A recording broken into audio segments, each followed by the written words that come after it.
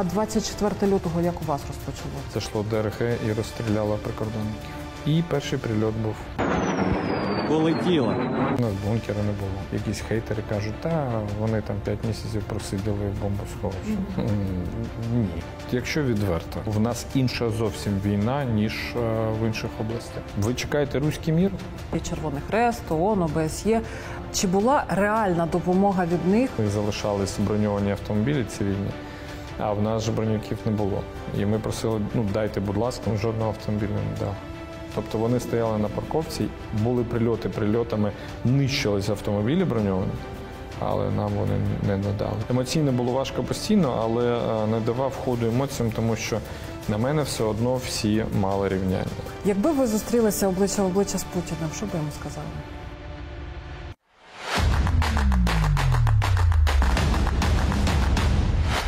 Друзі, я вас вітаю. І просто зараз будемо говорити про Луганщину. Наш гість, очільник Луганської ОДА ОВА Військової адміністрації військової зараз. адміністрації Сергій Гайдай. Пане Сергію, вітаю. Вітаю.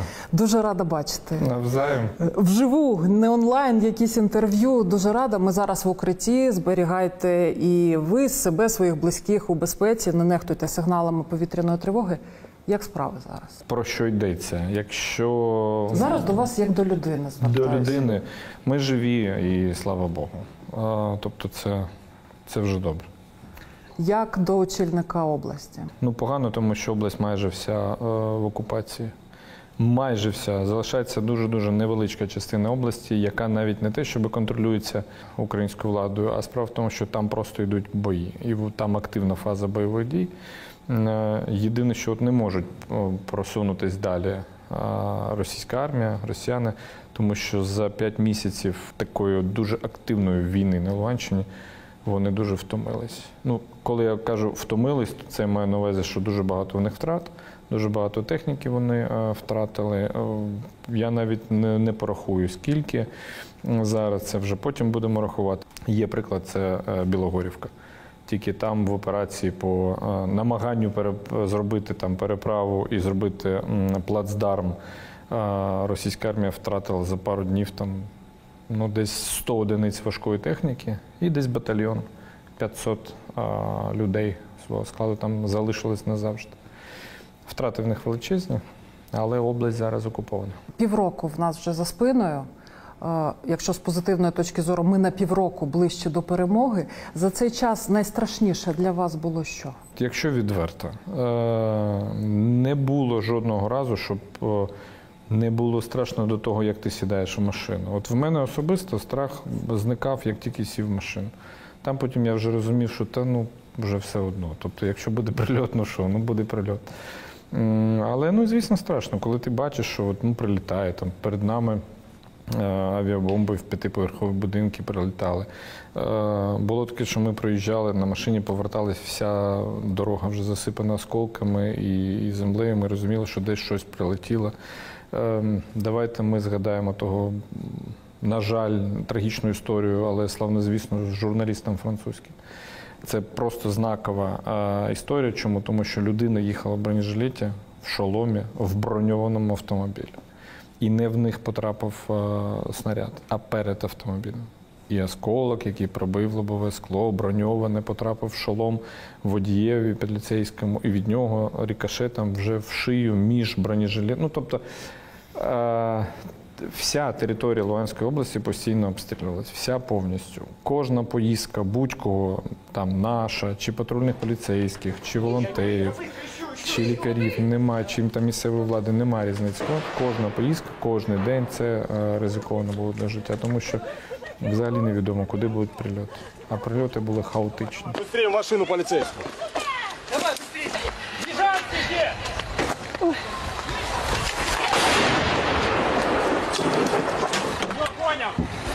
Виход, виход, виход. Хлопця на руках, да? А хлопець у бабушки виходить. Коли ви зрозуміли, що не уникнути повномасштабного вторгнення? Я зараз не згадаю точно, яка це буде е, така дата, але м, ми з прикордонником, з керівником прикордонного загону Луганського спілкувалися, і коли він скаже, що все, е, вони підвезли техніку важку, танки 18, мені здається.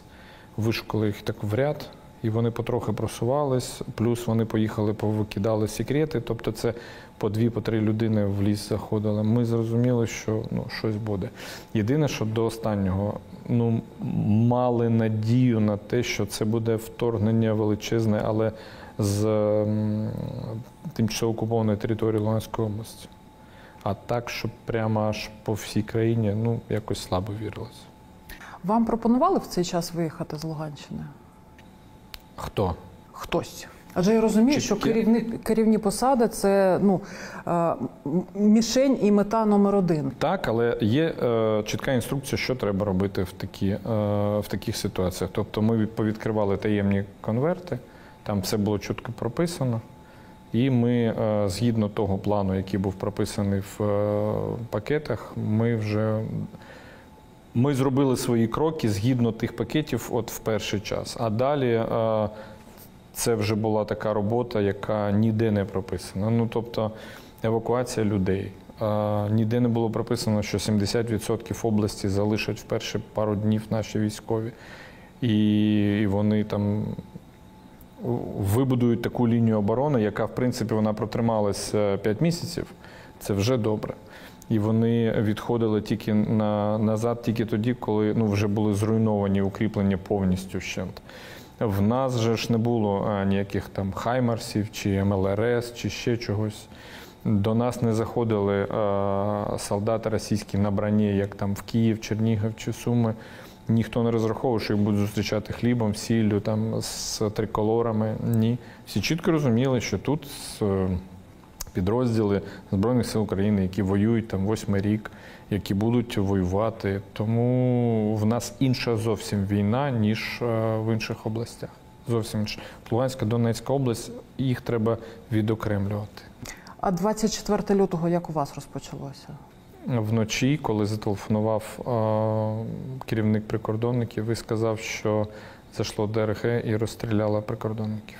І потім пішли танки.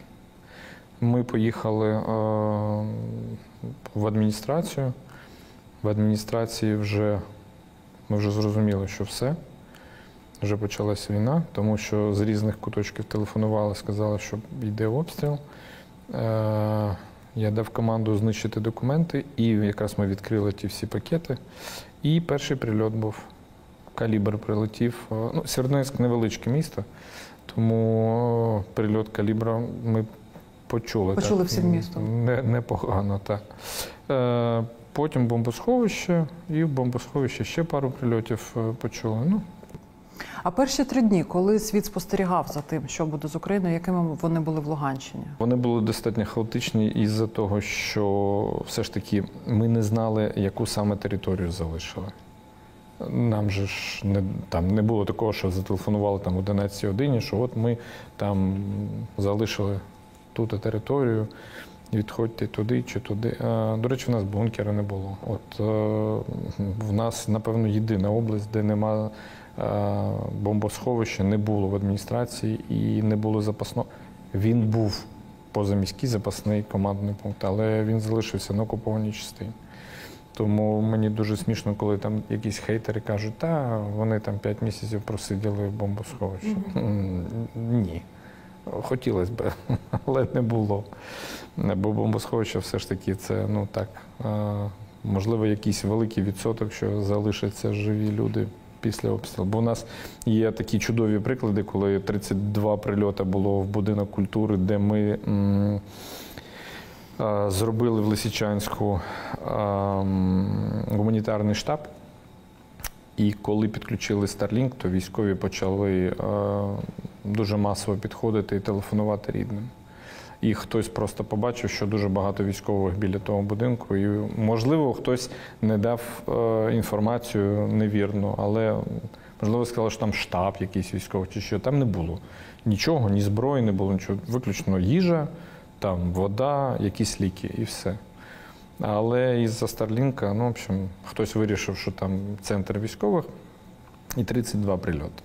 А це такий е, старий будинок радянський, ще з колоннами. Ну, такі. Будинка нема, в хлам, але люди, які ховались там в підвалі, вони живі. Слава Богу. А Щодо коригувальників, диверсантів, зрадників, яка ситуація у вас? А, ну, по зрадникам можу сказати, що якщо порахувати по кола- колаборантам, які з керівників ОТГ або мерів, то слава Богу, небагато. От в відсотках. З усіх голів ОТГ або військових адміністрацій в нас буквально 5 людей пішли на співпрацю з е, окупантами. Добровільно, не через полон? Ну, не було в нас інформації, що вони були в полоні.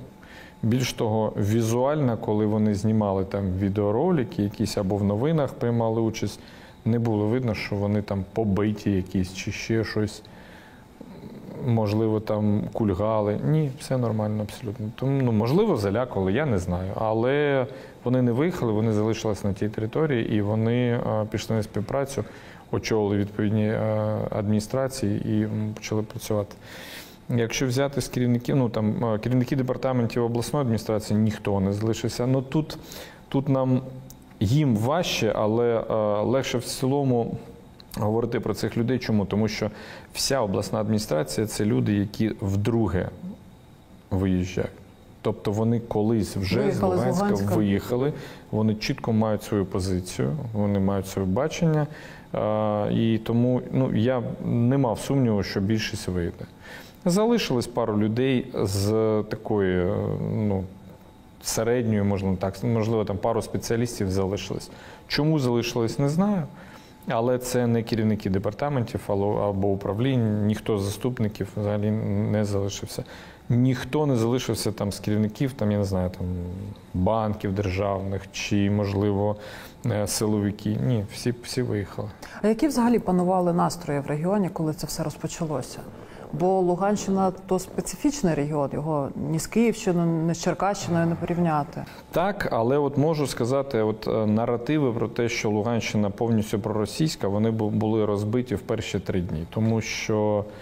Давайте так, по кількості людей, які виїхали. От е, в Луганській області після 2014 року, після окупації частини території, е, офіційно на Луганщині залишилось 650 тисяч населення, плюс 200 тисяч це е, люди зі статусом ВПО.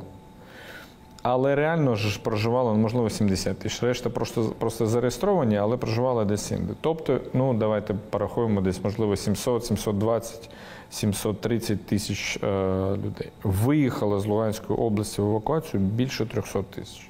Це люди, які не захотіли залишатись і жити під окупацією або співпрацювати з окупантами. Це перше. Друге, ну от, до прикладу, Сєвєродонецьк 120 тисяч нараховував, е, залишилось десь 10 тисяч.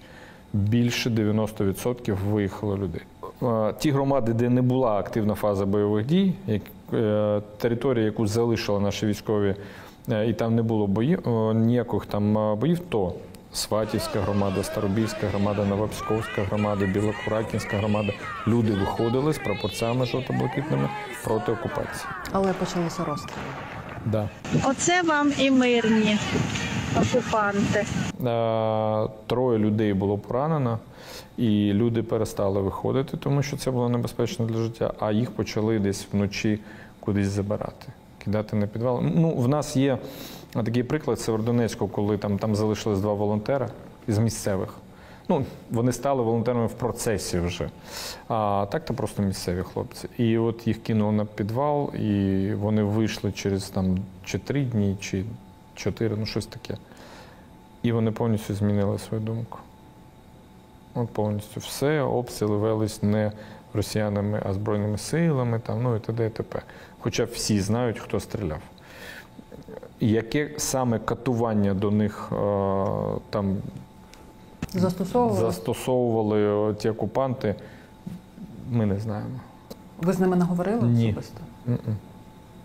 І вони зараз співпрацюють з окупантами чи виїхали куди? Не можу не сказати, знаєте? чи співпрацюють. е, Якось так втрачена з ними е, втрачений зв'язок, але е, ну, думку свою вони змінили саме після підвалу. Ну, слухайте, ніхто ж не термінатор. Можливо, сказати, що повбивають їх, якщо вони там не будуть говорити те, що вони говорили. Ми не знаємо. В Луганщині також викрадали голів, міських голів, як в інших регіонах це було? Чи не було у вас такої практики? А, от не було. Чому? Всі голови, хто не захотів співпрацювати, всі виїхали. Ті, хто залишились, а це от п'ятеро, вони пішли на співпрацю. Єдине, що в мене є такий приклад. В нас один, я не буду називати ні прізвище, ні громаду, але один залишився, але потім хотів виїхати, не міг. Е, Його зупинили і півтора місяця десь тримали на підвалі. Випустили, живий, здоровий.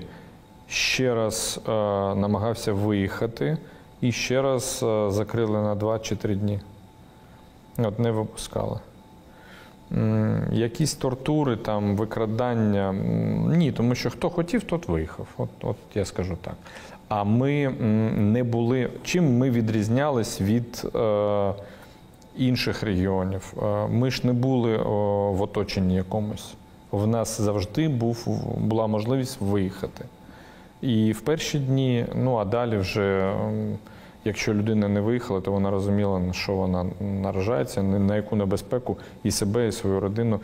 Я з деякими чоловіками спілкувався. От, е, я маю на увазі просто чоловіки, які там жителі області. От ми спілкувалися, і питання дуже просте: чому ви залишаєтесь? Ви чекаєте руський мір? Бо є величезна вирогідність того, що буде прильот, і ви загинете. Якщо ви не загинете, то окупанти прийдуть і вас заберуть е, в армію. Ви будете воювати проти нас. І ми вас вп'ємо. Ну, бо ви станете ворогом. Ні, все буде нормально. У нас там якась цивільна професія. Немає різниці ЖКХ чи, чи ще щось. Але зараз всіх забирають. От всіх. Я не розумію, чому іноді люди залишались там. Ну, чоловіки, літні люди добре. Е, Я якось розумію, тому що іноді в них ну, ментально вони не готові були нікуди їхати, і в них е, одна теза, до речі, для всіх. Ми тут народились, ми тут і помремо. Ну от все, тут у нас квартира, тут у нас будинок, тут у нас якесь там господарство, ну щось таке. Та ми краще залишимось тут. От і, і тому залишалось. Я дивилась ваші ролики. Іноді група, яка організовувала евакуацію, була більшою ніж кількість людей, яких вдавалося вмовити до- і вивезти. А, В основному вже от ми закінчували евакуацію, коли, коли е, Лисичанськ почали вже обстрілювати. От найважче, що було для мене, крім того, що там е, багато людей загинуло, і серед наших захисників, і цивільних, і, і бачити е, там фотографії тих дітей, які осколками посічені повністю, або розірвані тіла там після обстрілу, коли там сім людей розірвані просто на шмаття, і вони лежать на вулиці.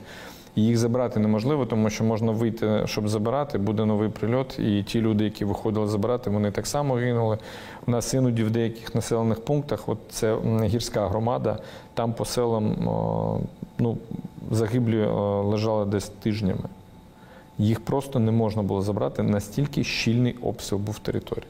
Вся територія е, області була обстріляна, вся повністю. Не було ніякого е, жодного населеного пункту, який би не обстрілювали ну так достатньо потужно.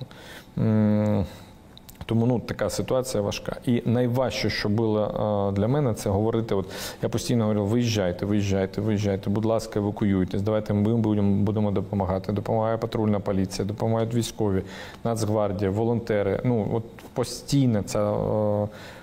Цей такий, я не знаю, я вже е, єдине, що не робив, то це не робив поквартирний обхід. А так ми просили всіх, звертались до всіх декілька місяців щоденно. І наставав певний час, коли в тому чи іншому населеному пункті я вже казав, евакуація закінчена, залишайтесь, будь ласка, в укриттях. Це вже настільки е, щільний був обстріл, що було ризиковано. І до прикладу, якщо ми їхали там п'ять людей, їхали забирати е, трьох, ну не було сенсу, тому що всі могли загинути, втратити п'ять волонтерів чи п'ять поліцейських заради того, щоб вивезти одну людину. Щодо перемовин і організації евакуації, як це все відбувається? Адже ніколи ну, у більшості випадків російська сторона не дотримувалася е, домовленостей. Як відбувається? На якому рівні? Просто мені дуже цікаво. Бо е, бачиш е, там повідомлення в ЗМІ, там двома реченнями. Нас, насправді я розумію, що то глибша робота, і напевно якось оформлюються ці домовленості. Як це відбувається? Е, Скажу так, 90, напевно, 8% евакуації, яка відбувалась в Луганській області, проходила без е, всяких погоджень взагалі. Справа в тому, що ну давайте так, е, в нас активна фаза бойових дій почалася з перших днів. В нас унікальна ситуація, тому що жодна область не залишила територію, не втратила 70% території в перші дні, і жодна область не, бул, не обстрілювалась з перших днів повністю вся. От ті пару відсотків, коли нам допомагали, це е, дійсно міністерка е, реінтеграції тимчасово окупованих територій Ірина Верещук, вона е, намагалась домовитись з росіянами, щоб вони давали коридор. Було декілька разів, що були дійсно коридори. Ми користувалися цими коридорами, але автобуси обстрілювались постійно. Якщо виїжджали з людьми, е, от вивозили, то ще більш-менш якось там нормально. Але коли повертались, постійно були обстріляні. У нас були ситуації, коли е, фотографії навіть залишились просто диво якесь е, після обстрілу. От біля водія в лобовому шклі є отвір, і над головою осколок прилетів. І якщо дивитись от просто в салон автобуса, це Богдан, ну пазік звичайний, він весь посічений осколками. Тобто, якщо б цей прильот був тоді, коли автобус їхав з людьми, ми б мали 15-20 загиблих одразу. Я дуже задоволений і слава Богу, за весь період евакуації ми вивезли орієнтовно десь біля 50 тисяч людей. Коли я кажу ми, це е, адміністрація як обласна, так і місцеві адміністрації, це волонтери, це військові, це патрульні поліцейські, це е, Нацгвардія. Це, ну, допомагали от всі. Я так просто ми кажу, але от всі допомагали нам. Так от е, ДСНС допомагало, всі, всі допомагали.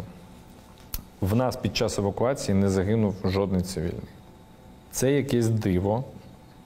Е, Навіть потяг, коли їхав кудись, е, мені здається, на Покровськ, чи навіть е, тоді ще далі, був обстріляний і проводниця одна загинула. І, до речі, після цього випадку машиністи відмовились їхати. Але ну, в нас була дуже хороша співпраця з Укрзалізницею, починаючи від е, керівника наглядової ради, закінчуючи там заступниками. е, Ну, всі нам допомагали. От якщо б не Укрзалізниці, я навіть не знаю, як би ми вивезли людей в тій кількості, скільки вивезли. Але на той час е, мій перший заступник от домовився з машиністами таким чином, що хлопці, давайте так. Ви поїдете, якщо хтось з адміністрації буде з вами в е, потягу. Вони кажуть так. І от він сідав в кабіну машиніста і певну частину території, яка так прострілювалась, він проїжджав декілька разів з ним. Наче оберіг. От як оберіг. Я не знаю, чим це допомагало а, реально машиністам, але ну, можливо, якось це просто психологічно, десь на підсвідомості, що ну, якщо хтось є з адміністрації, то можливо буде якось легше. Легше не було, але їздив. І попередні вісім років на території вашої області завжди були іноземні місії, Червоний Хрест, ООН, ОБСЄ. Чи була реальна допомога від них з початку війни? Ні, ніякої взагалі. В мене залишилось е, смс, е, таке листування з е, представником Міжнародного Червоного Хреста. Е, і 25 лютого ми з ним почали ту переписку. І вони жодного разу нам не допомогли в евакуації. Ми просили їх дати машини, ми просили провести переговори. Е, Ми просили хоча б одну машину з прапорами Міжнародного Червоного Христа. Є таке повідомлення до мене, що а якщо ми домовимось з росіянами, то ви е, зможете погодити, щоб е, не було обстрілів з боку Збройних сил України. Я кажу, так, домовляйтесь, ми зі свого боку так само домовимось. І все, і тиша. ОБСЄ взагалі нікого не було. Ми, до речі, декілька разів просили, там в них залишались броньовані автомобілі цивільні, а в нас же бронюків не було. І ми просили, ну дайте, будь ласка, ми будемо користуватись, тому що постійні прильоти, це будь-який осколок може прилетіти, і це буде трагічно. Ну, жодного автомобіля не дали. Тобто вони стояли на парковці, були прильоти прильотами, нищились автомобілі броньовані, але нам вони не надали. Як вони це аргументували? Ніяк Ігно... Що це нейтральна місія, що там всюди є GPS, там якісь е, маячки і т.д. Так їх же не в бій запрошують, а допомогти виїхати. Червоний хрест наш обласний він працював. Тобто вони там в підвалі сиділи, вони допомагали, ми їм давали там або медикаменти, або гуманітарку якусь. От наш обласний Червоний Хрест так, міжнародний ні. ОБСЄ ні. Ніхто нам ні в чому не допомагав. Все, що ми робили, ми робили самостійно. В нас сідали за кермо іноді патрульні поліцейські, вивозили людей. Я просив тут же е, ще раз, от е, головний момент це те, що ми за декілька днів втратили 70% області. Через що це А, відбулося? Тому що е, вторгнення почалось повномасштабно в прямому сенсі і з російської е, сторони так само.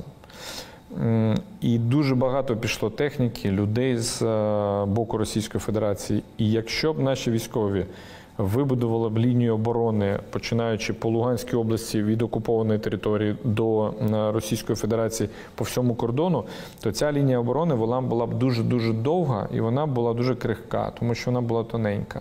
Скоріше за все, її би просто пройшли би ну швидко, можливо, за тиждень.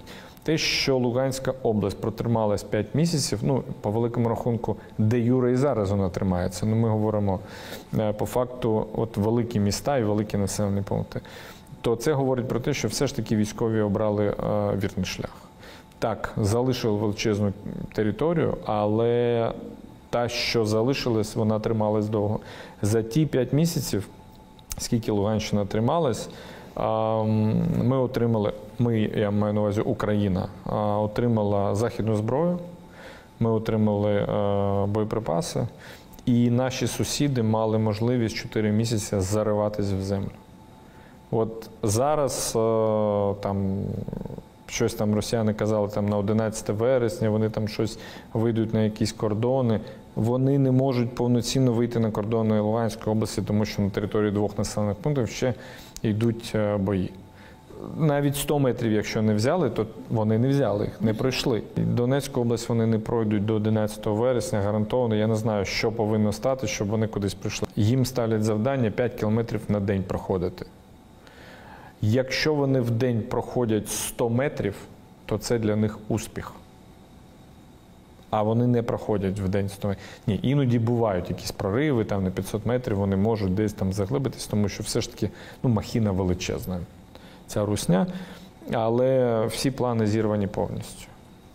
І от е, ту територію, яку наші захисники тримали, вони, ну, вони зробили неймовірні якісь речі. Сєвєродонець – це 4 кілометри на 4 кілометри, квадратик, без перепадів, без висот, без якихось там е, надукриттів а-ля Азовсталі, там, що ціле місто під землею. Нічого такого не було. І тим не менш, півтора місяця вони його проходили.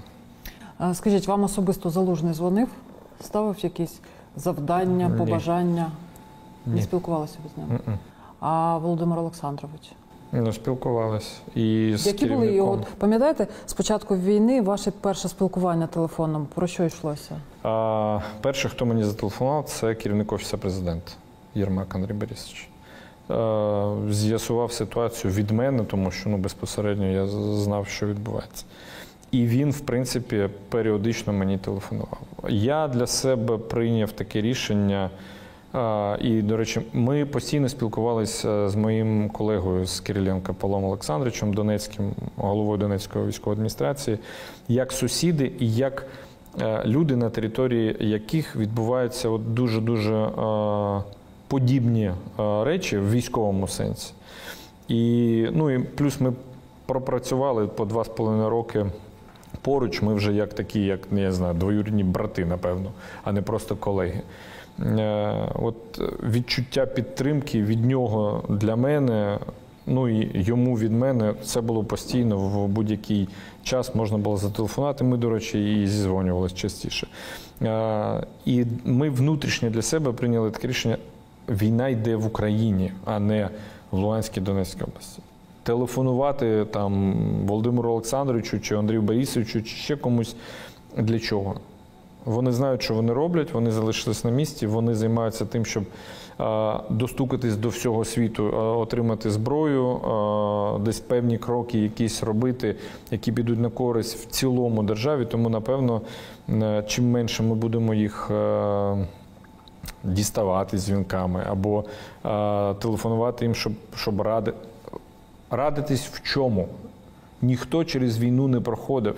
До неї неможливо підготуватись, напевно. Якщо б це була третя війна за 20 років, і ми б працювали, і ми б знали, що це таке, і яким чином е, треба себе поводити, як там десь е, е, щось вибудовувати.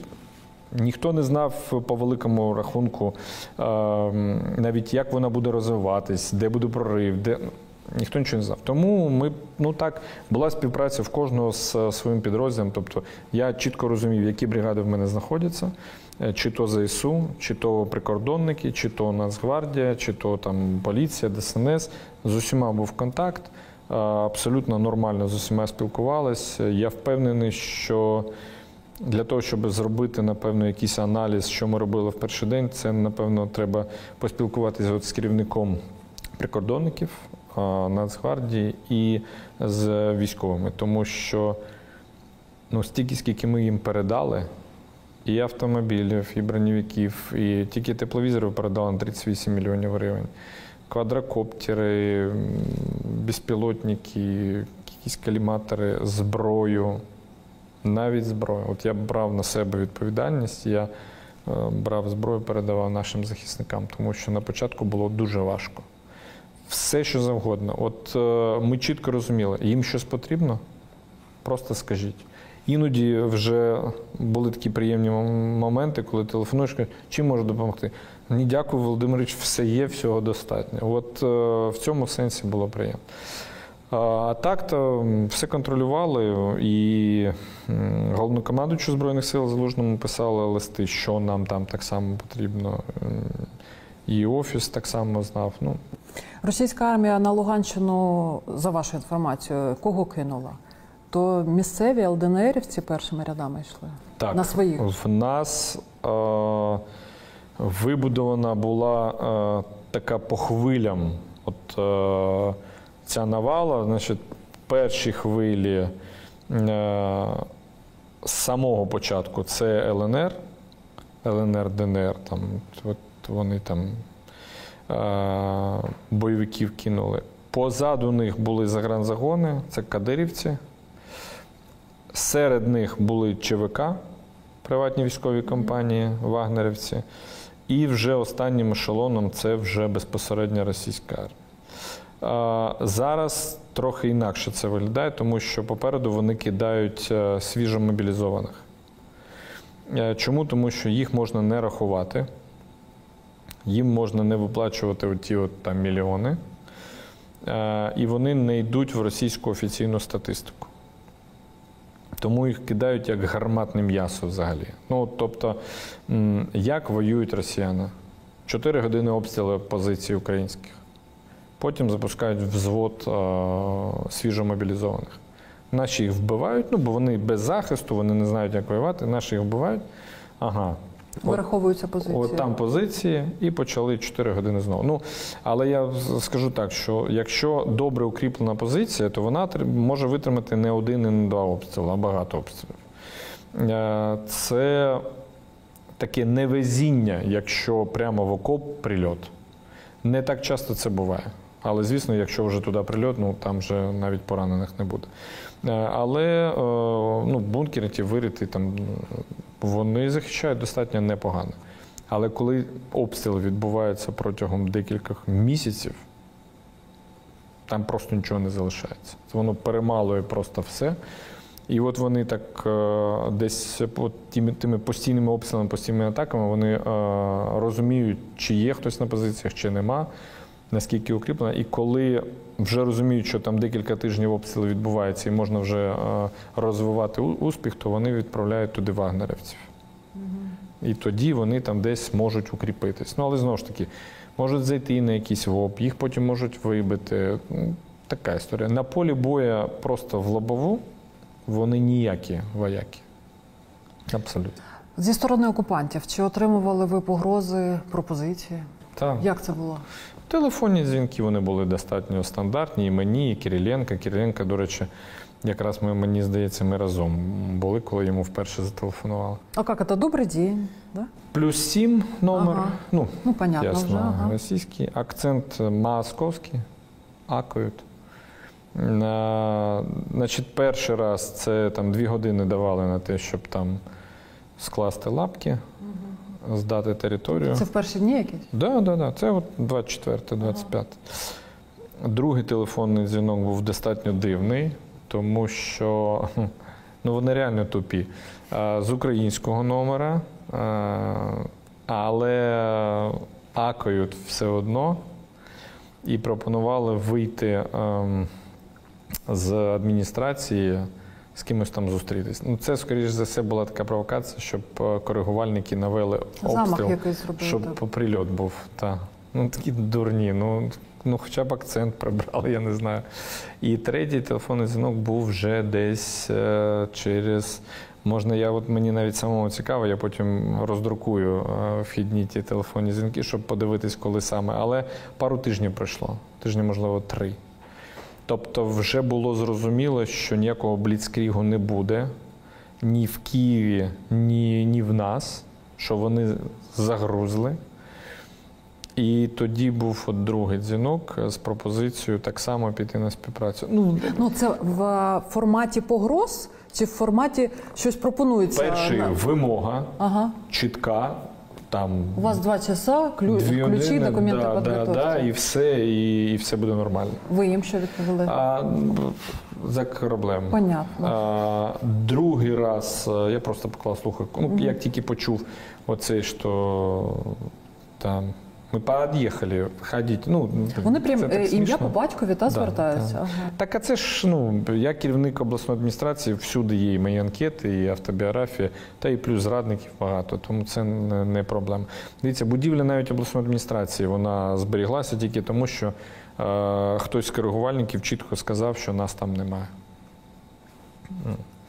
І а третій раз, е, коли зателефонували, я тільки ну, побачив плюсів, ну думаю, блін, три тижні пройшло там чи два, ну це вже якось, е, можливо, хтось, я не знаю, хто телефонує, підняв слухавку і одразу почув. Але там вже ну, спробували домовитися. Але так само. Я з ними не спілкувався. Я з ними не виходив якісь там довгі переговори. Два слова і до побачення, позаблоковував всі номери і все. Навіть один телефон в мене був, ну, напевно, заблокований мій особистий. Десь півтора місяця виключно в інтернет-режимі працював. Тобто месенджери працювали, а вхідні, вихідні ні, тому що я розумію, що, ну, по-перше, по телефону раз вже телефонують, то по телефону є е, пілінг, вони розуміють, де ми знаходимось. Ну, для чого? І друге, для чого їм стільки телефонувати? Ну, Напередодні е, війни в грудні ми спілкувалися і захоплювалися тими здобутками Луганської області, скільки всього побудовано. Найжахливіше то втрачені людські життя. Це факт, це по-перше.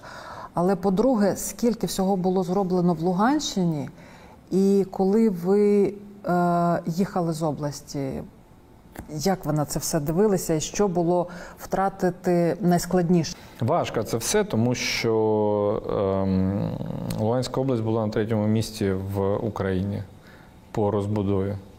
На першому Дніпровська, на другому Донецька і на третьому Луганська область. І вкладено було два з половиною роки життя реально, і здоров'я, і скільки нервових клітин там залишилось е, безповоротно вже. Е, І безсонні ночі, і, ну, Ну головне був результат. Він був видний. так, е, стільки було покладено в область, і всі люди бачили в області, що область дійсно почала змінюватись. І звісно, що воно було важко. Тим паче, що ну, а взагалі це моє рідне місто, де я народився.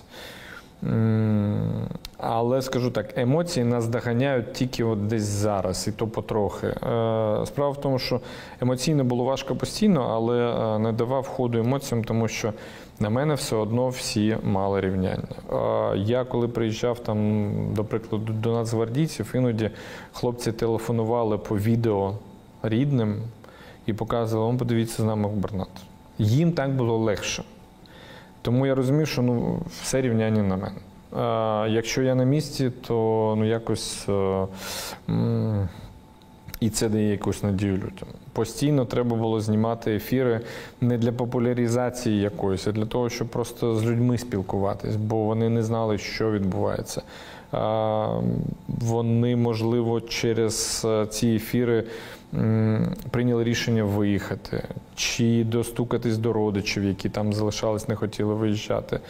Вони розуміли, ну, хоча б якось в якому напрямку взагалі рухатись і що відбувається.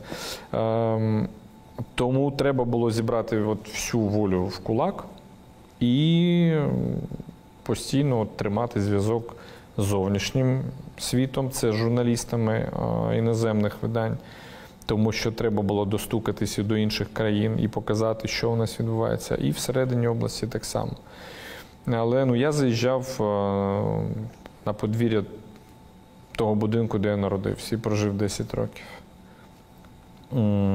І там прильот був, до речі. Е, Я бачив, як руйнується рідне місто. Я бачив ті обстріли. Я бачив, е, як зруйнована лікарня, пологовий будинок, де я народився. Я бачив зруйновані от все, що ми там побудували. Ну, блін, ну це боляче. Дійсно боляче, тому що це ж не за тиждень ми побудували. Ще раз говорю, було дуже важко це все побудувати. А, якщо б ми були десь на останньому місці і в нас так величезна кількість е, об'єктів не було побудовано або побудовано тяп-ляпа, то ми душу туди просто вкладали, реально. І багато людей змінило взагалі ставлення до роботи як такової. Тобто, ну, все повинно було чітко, злажено і, і я не знаю, з 5 балів на 10.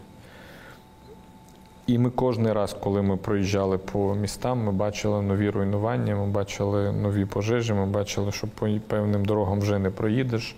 Наші мости зруйновані, наші школи, садочки. Один з прильотів був 18-ту школу, яку якраз ми туди вкладали багато чого, тому що там а,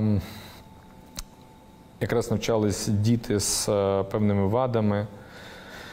А, і там було дуже багато в е, там внизу. Був така була така спортивна зала, вони як сховище е, використовувалась. І ми дуже багато через волонтерів, через місцеву адміністрацію до людей намагалися достукати, щоб вони виїжджали. І виїхали вони тільки тоді, коли на першому поверсі у них харчоблок був, і там люди готували їжу, і був прильот. Одразу декілька загинуло людей. Їх просто порозривало в, ну, на шмаття. Декілька поранених важких, і тільки тоді повиїжджали люди. І от дивитись на ті школи, ну важка ситуація. Я не знаю. Не, напевно, немає людини, яка ну, без емоцій взагалі на це дивиться, дивилась, проживала це, реагувала. Але емоції от потім нас доганяють. От, е, Останній раз емоційно достатньо відреагував, коли бачив у Львові, от коли ми е, відзначали День е, Незалежності. Е, і я вперше побачив наш оркестр, який виїхав. Луганський оркестр в 2014 році майже в повному складі, майже виїхав з Луганська. Донецький чомусь ні. Ну, не знаю, це якісь особисті там моменти, але і вони були чудові. Вони дуже круті. Курт Шмідт, це відомий на всю Європу диригент, приїжджав в Сєвєродонецьк, жив. Е, Він диригував там під е, ну разом з ним вони давали шикарні концерти в цілому. І, от вони так само виїхали, але я їх вперше побачив через півроку. І от вони е, в церкві у Львові давали концерт. Блін, ну воно важко було, але приємно. Повиїжджали. Ви зараз губернатор-кочівник, ваші люди всюди. Як підтримуєте зв'язок е, з мешканцями Луганської області, що виїхали? Е, Чи підтримуєте зв'язок з тими, що залишилися на окупованих територіях? Да, виїхало в нас дуже багато людей, евакуювалось більше 300 тисяч. Не можу навіть зараз цифру назвати чутку, там 330-340, але дуже багато людей виїхало, і вони роз'їхались по всій е, Україні. Ми зараз говоримо, що Луганщина, на жаль, майже вся окупована, але Луганщина зараз повсюди, тому що нема області, де б не проживали люди, які евакуювались з Луганської області. В кожній області своя кількість людей, але десь 2 тисячі, а десь 22, а десь 40 тисяч людей. Е, Для нас це так само, для мене особисто це перший такий досвід. Е, І я одразу зрозумів, що допомога потрібна всюди, і ми запустили е, відкриття гуманітарних хабів. В кожній області для того, щоб допомагати людям. Це не просто віддати якийсь продуктовий набор і все. Ні, це е, крім допомоги в вигляді якихось гуманітарних наборів, це допомога ще е, в обліку. Можливо, є якісь е, запитання щодо відновлення документів, чи можливо підготувати якісь довідки, чи можливо е, запустити знову бізнес, який виїхав Ну, і релокацію якусь релокація зробити, якась так. Це питання по житлу. Це питання. От мені сьогодні телефонували, проживають в гуртожитку в, на Волині і виселяють людей, тому що починається освітній процес. Е, Ми запустили паралельно на моїй сторінці в телеграм-каналі, запустили чат-бот, який збирає питання. Ми ці питання опрацьовуємо, потім в таблички відповідаємо. Ну, тобто це постійний е, конект з головами адміністрації, які виїхали. Я за кожним з них закріпив область. Тобто одна громада може відповідати за дві області, може відкрити в певній області, де багато наших людей, два гуманітарних штаби. Ми зараз е, адміністрацію обласною е, домовляємо, щоб постійно гуманітарні вантажі приїжджали туди, привозили їм. Я тільки от сьогодні спілкувався з Єпіфанієм, який, до речі, дуже нам допомагає. Він нам швидкі допомоги передавав. Зараз повинні там до нього ще партія якихось автомобілів приїжджає, і ми домовилися, що якщо дасть Бог все буде нормально, то можливо він дасть нам якусь вантажівку чи вантажний мікроавтобус, щоб ми мали можливість десь розвозити гуманітарні вантажі. Не завжди можуть люди приїхати в центр гуманітарний, там в саму Полтаву чи в саме Рівне. Вони десь живуть в селі. То ми через Укрпо- Укрпошту домовились, ми відправляємо їм е, на. Ну, питань величезна кількість. Е, Але ну. Що це все одно робота. Е, В нас є представники обласної адміністрації, які е, так само ева- евакуювались по роз'їхались по Україні. Хтось проживає в Хмельницьку, відповідає за Хмельницький хаб. Хтось проживає на Закарпатті, відповідає за Ужгородський чи Свалявський хаб. Ну така співпраця постійна з е, представниками громад і з людьми. З окупованими територіями є якийсь конект? А конект є, зв'язок є, але не буду вдаватись подробиці, тому що вони Що нам не можна, не допомагають. говоріть. Мгм. Якби ви зустрілися обличчя в обличчя з Путіним, що би йому сказали? Нічого би не встиг. Я вас зрозуміла. Е, Хочу, щоб наступне інтерв'ю вже найближчим часом ми записали е, після перемоги і поговорили про кроки розвитку подальшого. Я вам дуже дякую. Божого благословіння, захисту і щоб якнайшвидше ми святкували перемогу. Друзі, на цьому сьогодні все переможемо разом.